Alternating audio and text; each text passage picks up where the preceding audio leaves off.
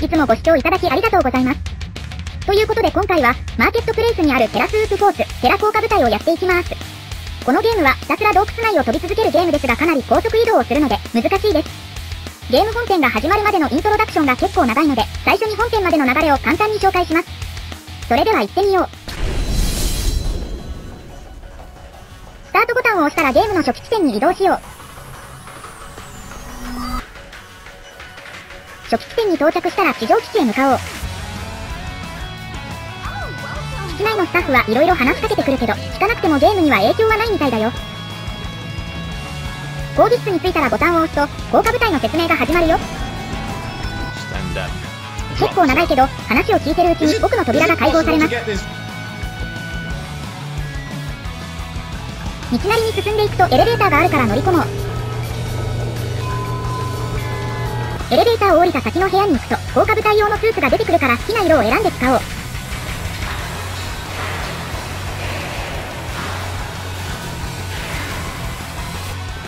スーツのところに行くと装着できるよ。到着完了。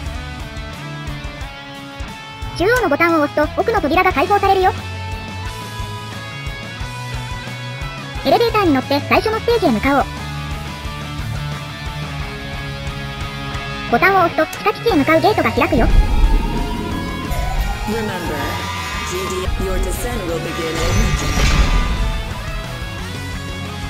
それじゃ最初のステージ行ってみよう。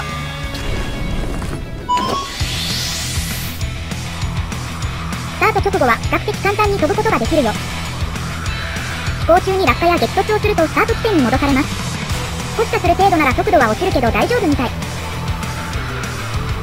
この辺りから難しくなってくるよ。いた。飛行ルートはいろいろあるのでゲームクリアまでの一例として参考にしてみてください。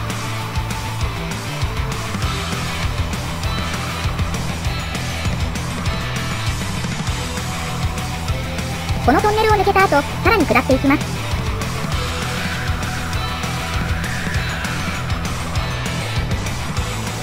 飛行中の高度は高めに飛ぶ方が良いようです。低すぎると上昇できなくて墜落とか激突するよ。ここから先は通路が広いから飛びやすいよ。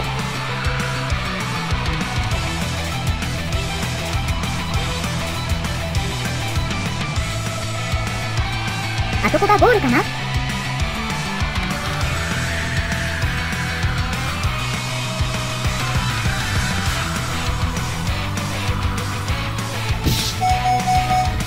一つ目のステージをクリアしたよ。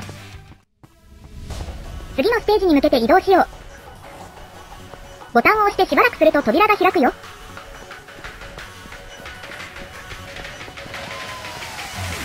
それじゃ次のステージ、行ってみよう。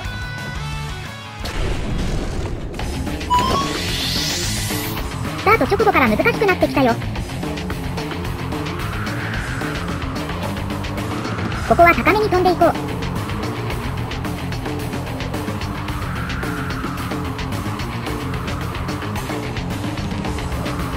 この先はどこが通れるか判断するのがすごく難しいよ。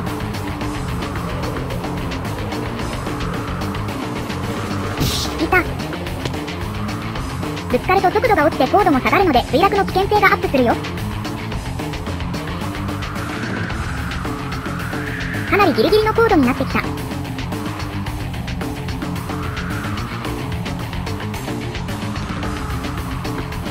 この先の壁を通過できるかな？なんとか通過。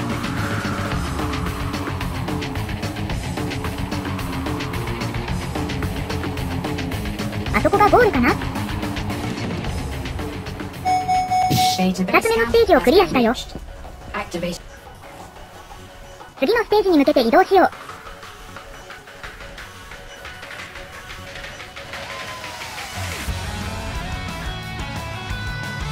それじゃ次のステージ、行ってみよう。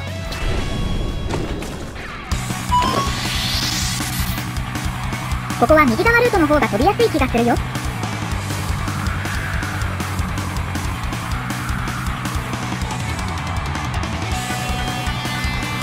飛ぶのが上すぎた。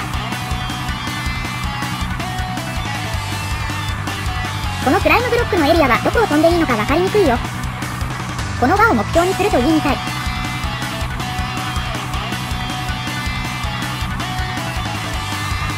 このマグマエリアはアップダウンが多いよ。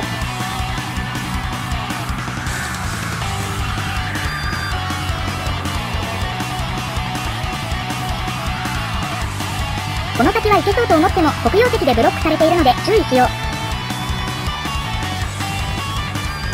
ここから先はほぼ直感で飛んでます。なかなか判断が難しいよ。またマグマエリアに入った。ここも複雑に入り組んでるよ。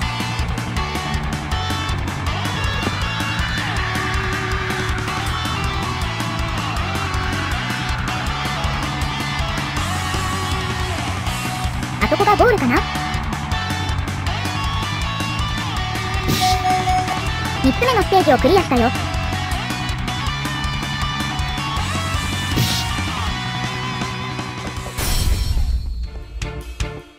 次は最終地点まで進みます。おーい、北基地はどこだ？あそこにあった。目的地に到着、早速中に入ろう。